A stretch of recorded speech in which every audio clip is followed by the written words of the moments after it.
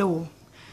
Solltet ihr von Ostern oder Weihnachten noch Schokolade übrig haben und ihr könnt sie einfach nicht mehr sehen, zeige ich euch, was man daraus machen kann. Ihr nehmt einfach den Osterhasen Weihnachtsmann, was ihr auch aus Schokolade habt, und macht ihn klein und überlegt euch, was ihr vielleicht gerne dazu haben möchtet. Ich habe jetzt Kokosraspeln da, getrocknete Himbeeren und Mandelstifte. Und wir legen los. Zur Schokolade hinzu kommt noch ein bisschen Palmin-Kokosfett. Das rührt ihr nachher unter die geschmolzene Schokolade, bis es sich ganz aufgelöst hat. Ihr kennt vielleicht das Ei ist Konfekt. Schokolade, die sich im Mund anfühlt, als würde sie kühler werden. Das kommt durch das Kokosfett. Das schmilzt nämlich schon bei Körpertemperatur. Und wenn wir das unter unsere Schokolade einrühren, haben wir diesen gleichen Effekt auch bei uns. Ich habe jetzt zwei verschiedene Arten von Silikonformen da für die Schokolade. Man kann sie aber auch auf einem Backblech, das ausgelegt ist, mit Backpapier dünn verstreichen und erkalten lassen und kann somit Bruchschokolade erhalten. Ich schmelze jetzt die Schokolade nicht im Wasserbad. Ich benutze dafür die Mikrowelle. Ich habe sie jetzt eine Minute drin gehabt auf höchster Leistung und werde einmal durchrühren, um zu schauen, wie weit sie schon ist. Sieht schon ganz gut aus, kann aber noch mal gut eine Minute rein. So, dann schauen, wie weit sie jetzt ist. Das sieht doch gut aus.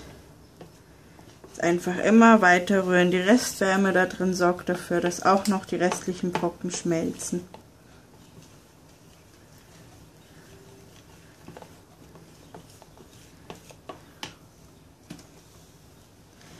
gebe nun einen 25 Gramm Block vom Palmin hinein und rühre das mit unter.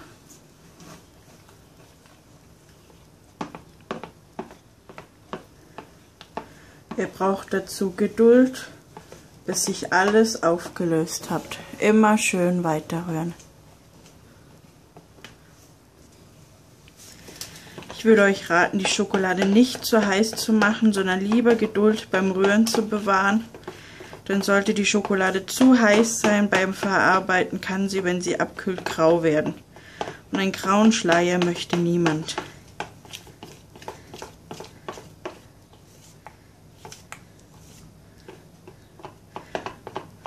Wie viel von dem Palmin Kokosfett ihr nehmt, bleibt euch überlassen.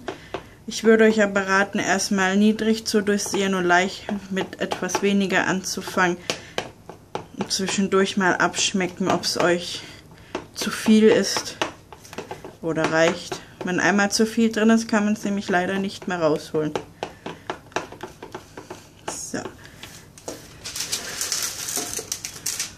Nun werde ich versuchen, vorsichtig meine Förmchen zu befüllen.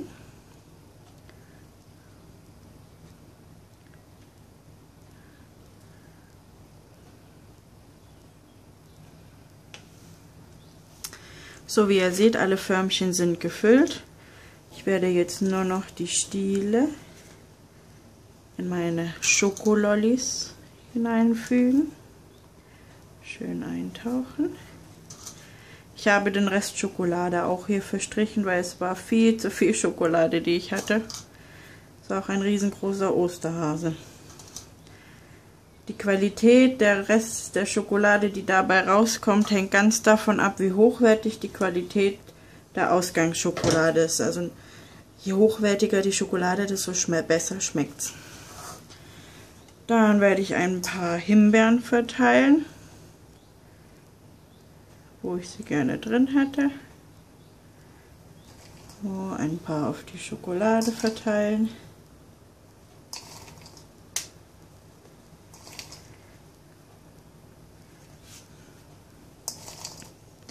Dann machen wir noch eine Reihe.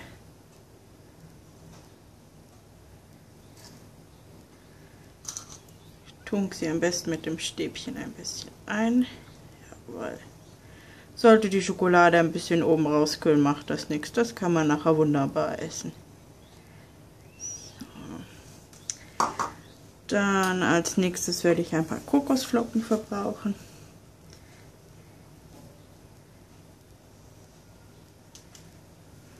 Auch hier drauf.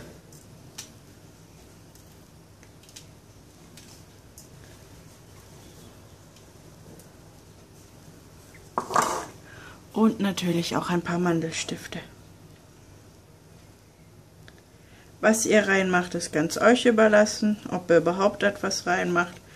Es können auch Zuckerperlen rein, ihr könnt M&M's Smarties nehmen, jede Art von Nüssen, getrocknete Früchte eignet sich dazu. Ihr könnt auch mal versuchen, eine ganz eigene Kreation zu machen. Vielleicht wollt ihr ja Chips reinhaben oder Chilis obendrauf. Lasst eure Fantasie freien Lauf, es sollte nur nachher essbar sein. Das Ganze lassen wir nun schön abkühlen. Erstmal außerhalb vom Kühlschrank, damit sich eben kein grauer Schleier bildet. Und solltet ihr merken, dass es schon langsam hart wird, dann könnt ihr es in den Kühlschrank stellen. Viel Spaß! So sieht nun meine fertige Schokolade aus.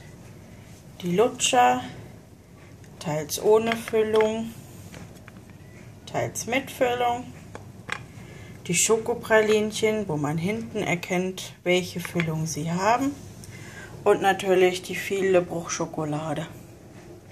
Eignet sich auch wunderbar als Geschenk zum Verschenken, zum Valentinstag, zum Muttertag oder einfach um jemandem eine Freude zu machen leckere Kalorienbomben. Ciao!